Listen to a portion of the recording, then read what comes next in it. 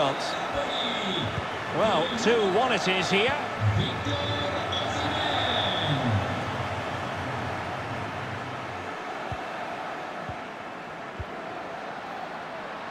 Gosens. Getting the better of his opponent. It could be up for grabs. Well, that's the end of that for now. There might well be scope for them to counter-attack here.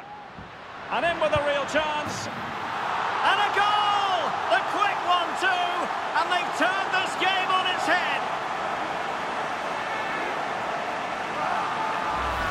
Well, here's the replay, and just look how quickly they break forward once they win the ball back. And once he gets onto it, he just smashes it past the keeper with great technique.